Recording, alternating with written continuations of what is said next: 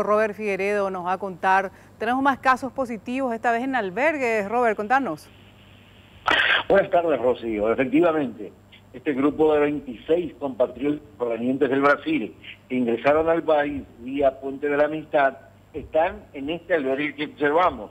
Es Escuela de Policía de Coronel Oviedo.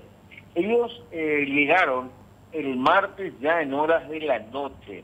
Ayer, miércoles, se registra la toma de muestras, la primera, y se sabe el resultado de esta mañana.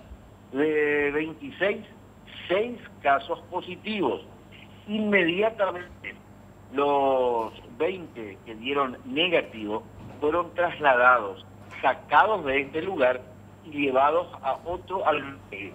Fueron llevados hasta la residencia universitaria de la gobernación de Caguazú seis que dieron positivo están en la escuela.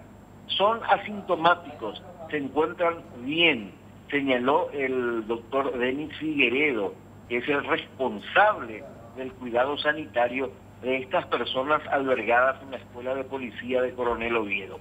Escuchemos lo que mencionó en la mañana de hoy el profesional de Blanco.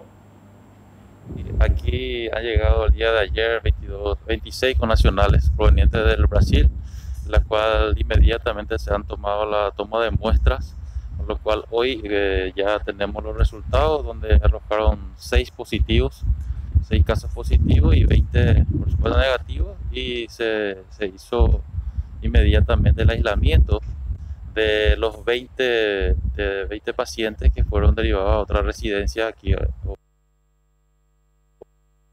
otro, albergue y los seis nacionales positivos están con nosotros aquí en el colegio de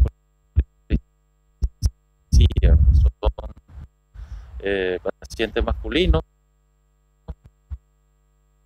eh, de, grupo etario aproximadamente de, de 23 a 30 años de edad. Son pacientes jóvenes y que actualmente son asintomáticos y que están con nosotros.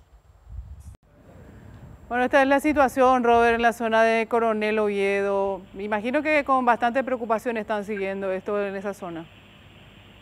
Sí, eh, genera preocupación entre las autoridades sanitarias, pero eh, los que están en albergue generalmente están bajo control, vale decir que eh, es un mal menor en comparación a los casos que surgieron últimamente en otros distritos del departamento de Caguazú, el contagio ciudadano.